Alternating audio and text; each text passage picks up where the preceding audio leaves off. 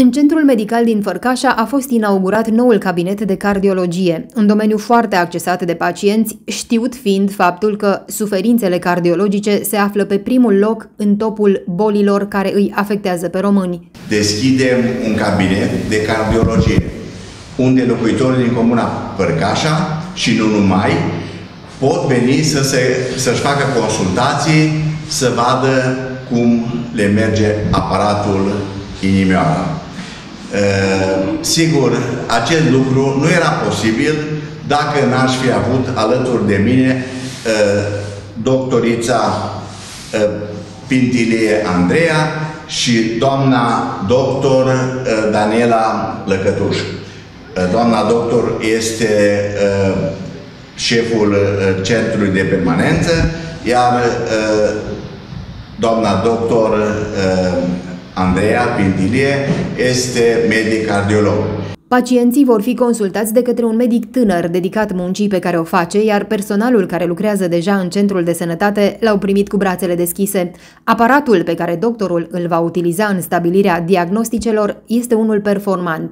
Cabinetul din Făcașa este dotat cu un ecograf performant care poate fi utilizat de mai multe specialități, inclusiv cardiologie, urologie, medicină internă, gastroenterologie, ginecologie, endocrinologie. În calitate de medic coordonator al Centrului de Permanență Fărcașa, îi urez bun venit doamnei doctor Pintilie, care ne va ajuta cu urgențele principal uh, cardiace.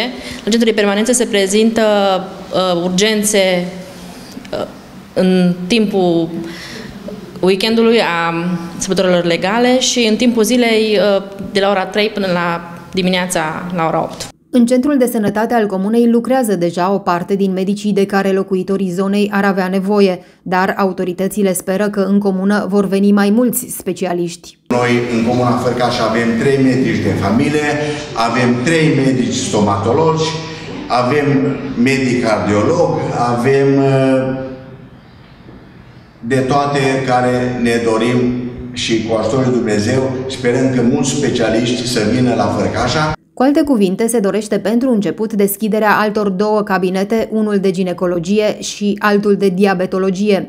Una dintre dorințele primarului este ca oamenii din zonă să își poată rezolva problemele de sănătate pe plan local, fără a fi nevoiți să se deplaseze în Baia Mare sau în alte localități. În cele patru sate ale comunei Fărcașa locuiesc, conform recensământului din 2021, 4100 de persoane, așa încât existența unui centru medical mare este justificată.